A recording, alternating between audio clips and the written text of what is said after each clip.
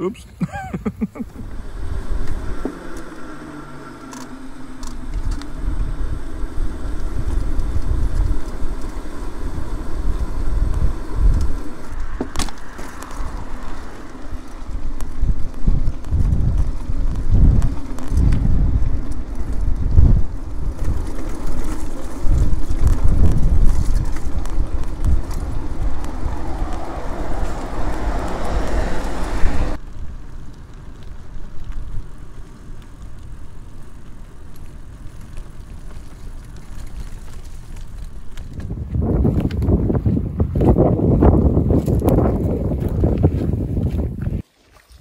Hallo Zuschauer.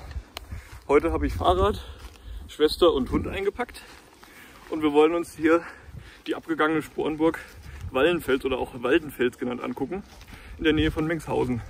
Dazu müssen wir jetzt erstmal hier so einen kleinen Trampelpfad durchs Tal hochgehen und dann zur Burg hochklettern.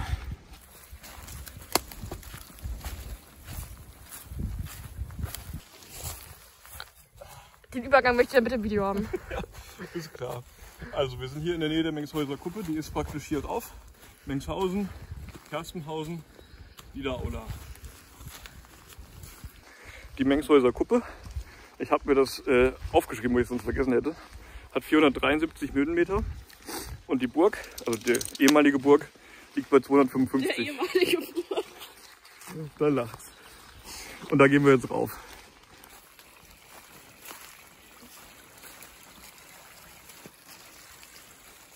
Und man braucht auch gar nicht weit hier reinlaufen. Dann kommt hier schon der Aufstieg zur Burg.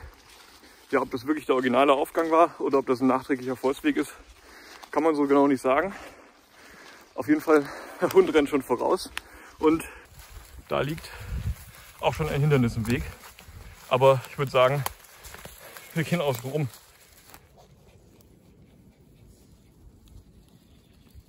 Übrigens das Bächlein, was hier hinter uns fließt.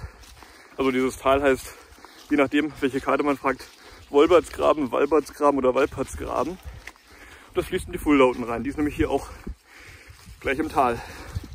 Und hier beginnt der Anstieg zur Burg. Ist ja. Was ist was denn da unten? Habe ich schon gefilmt. Da unten. Was soll ich filmen?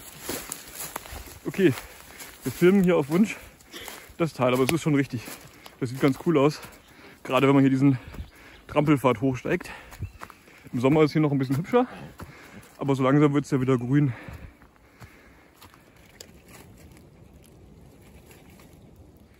Die Burg muss übrigens im 14. Jahrhundert hier gestanden haben.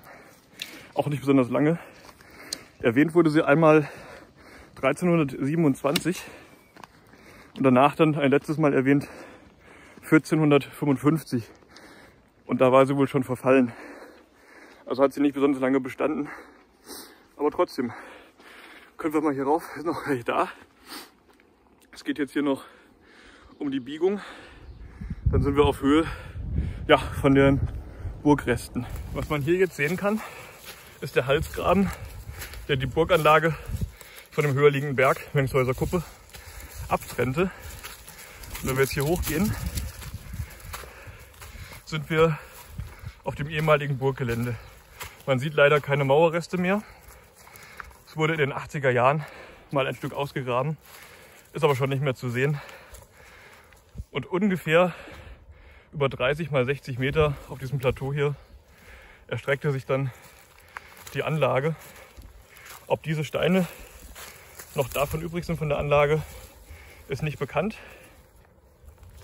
Aber sie sind das Einzige, was diese Stelle hier ein bisschen verrät, dass hier mal irgendwas gewesen ist. Das Ganze umgeben hat damals eine Ringmauer. Das ist auch das, was man mal freigelegt hatte. Davon ist nichts mehr zu sehen. Aber es wurden 20 Meter davon noch gefunden in den 80er Jahren und ein Meter noch was war die dick.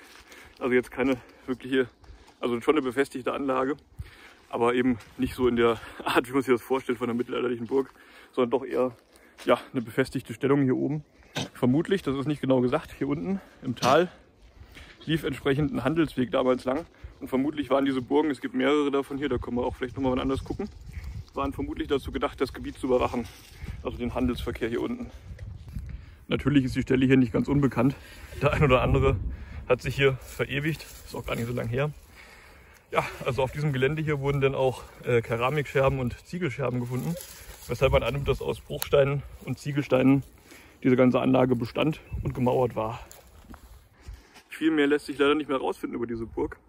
Das Schöne ist, und so habe ich es auch rausgefunden, jemand hat hier mal einen Geocache versteckt und somit die Stelle, naja, zumindest für die nächsten Jahre ein bisschen äh, in Erinnerung gehalten. Und natürlich, ich habe dann mal in unsere Chronik geguckt, in die Niederaulerer Chronik, da steht es auch drin.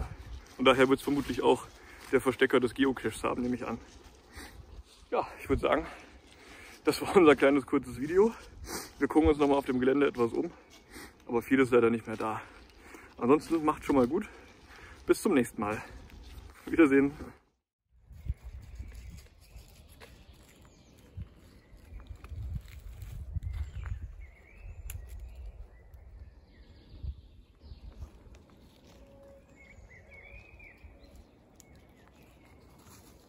Und, und, und, und, und, und, und. Klappt's.